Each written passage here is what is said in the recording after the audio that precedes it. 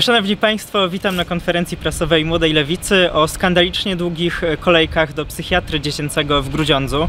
Kolejki, które wynoszą ponad rok, bo 394 dni.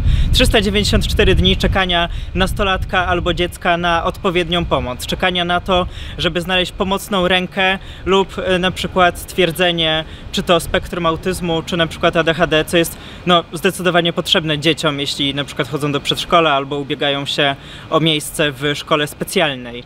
To jest skandaliczne, że w państwie XXI wieku musimy czekać tyle czasu e, w kolejce do psychiatry dziecięcego.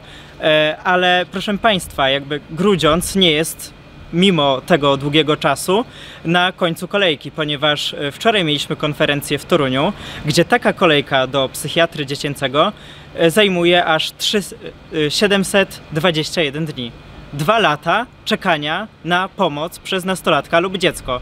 To jest po prostu skandal, jeśli chodzi o szpital wojewódzki, ponieważ w Grudziądzu spotykamy się mimo wszystko ze szpitalem miejskim, który, jak wszyscy dobrze wiemy, jest skrajnie niedofinansowany, boryka się z długami, y, w, których, w którym niestety państwo nie chce nam pomóc. Ale to, co możemy zrobić, żeby odciążyć takie szpitale i odciążyć psychiatrów dziecięcych, to przede wszystkim zmiana e, ustawy o zawodzie psychologa i e, dokoptowanie do tych kwalifikacji psychologów tego, żeby oni również mogli stawiać pieczątkę na przykład właśnie pod spektrum autyzmu czy pod e, ADHD.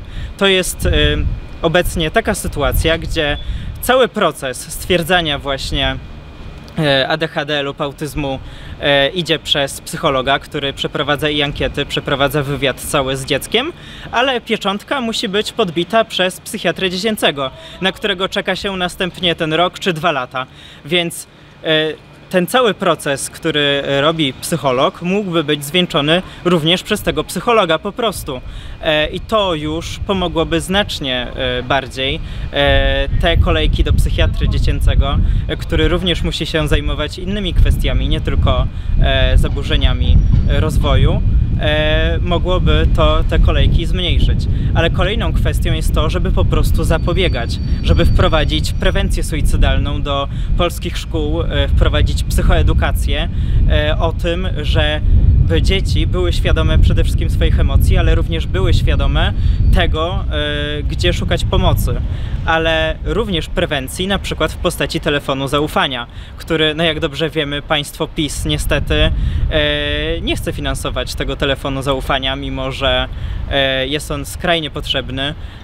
Nie chce go nawet w podręcznikach do historii teraźniejszości, w których miał taki telefon być zapisany. E, zostało to wszystko wypisane z e, tego podręcznika. E, ale również psychoedukacja w szkołach, która powinna się zarówno e, być na poziomie tym e, lekcji, na przykład na godzinach wychowawczych z psychologiem, który opowiadałby o emocjach, opowiadał o sposobie radzenia sobie z emocjami i problemami do dzieci i młodzieży, ale również wprowadzenie instytucji po prostu psychologa w szkole. To jest coś, co może naprawdę bardzo pomóc. To jest oczywiście coś, co nie zastąpi terapii, nie zastąpi psychiatry ani e, szpitala psychiatrycznego, ale jest takim pierwszym stadium pomocy, a czasami nawet ostatnim, bo y, nastolatkowie i dzieci po prostu muszą zostać w końcu wysłuchane, ale również muszą y, zostać zaopatrzone w rozwiązania, które mogą wykorzystać. A jak mają zostać w nie zaopatrzone, skoro w szkole po prostu się o tym nie uczy i po prostu nie ma takich informacji. Do ubiegłego roku tak naprawdę psycholog, pedagog specjalny musi być w każdej placówce, y, również w przedszkolach i tutaj ta mhm. zmiana zaszła. To też trzeba o tym wspomnieć, że taki jest wymóg i to narzuciło Ministerstwo Edukacji e, na wszystkie placówki. Tak, jest taki wymóg teoretycznie, o tym mówi minister Czarnek, ale dalej, e, jak wynika z fundacji z danych e, opublikowanych przez Fundację Growspace, e, tych psychologów dalej w szkołach w większości miast po prostu nie ma. I dalej jest masa wakatów, na przykład na Podkarpaciu jest to aż 30 czy 40% wakatów w szkołach na stanowisku psychologa szkolnego. Wiem, że dobrze to funkcjonuje akurat w Toruniu, jeśli chodzi o takie stanowiska, natomiast w innych miastach jest to dalej po prostu zbyt mało, jest zbyt mało tych godzin dla psychologa I no nie oszukujmy się, ale jeden psycholog, który przychodzi na przykład do szkoły na dwie godziny dziennie, to jest dalej za mało, jeśli szkoła jest duża. Na przykład ja chodziłem akurat do szkoły, w której uczyło się kilkuset uczniów e, i uczennic, no to jest stanowczo za mało. Czyli dążycie do tego, aby psycholog i zabiegacie o to, aby psycholog miał Mhm. podobne uprawnienia jak psychiatra, tak? Żeby też e, tę lukę wypełnić. Tak, nie we wszystkich oczywiście zakresach, no bo oczywiście jakby nie będzie nigdy tak, że psycholog zastąpi w pełni psychiatrę, ale jeśli chodzi na przykład o zaburzenia rozwoju y, u dziecka, jak na przykład e, autyzm, czy e, jeśli chodzi o ADHD, które tak czy siak przez całą drogę stwierdza, znaczy się bada w zasadzie e, psycholog, to nie widzimy problemu w tym, żeby ten psycholog po prostu również tą pieczątkę podbił, a nie żeby na tą pieczątkę trzeba było czekać kolejne dwa lata czy rok w kolejce do psychiatry dziecięcego, który w zasadzie tylko i wyłącznie podbije tą pieczątkę, a przez to się wydłuża ta kolejka, bo jest coraz więcej po prostu pacjentów. Te 394 dni, z kiedy to są dane i czyje to są dane? To są dane z dzisiaj. E, Jak się wejdzie na stronę NFZ, e, również na świat przychodni, które ma dane właśnie z NFZ-u e, aktualne, to są dane w zasadzie sprzed chwili, nawet przed konferencją sprawdzałem, czy się nic nie działo.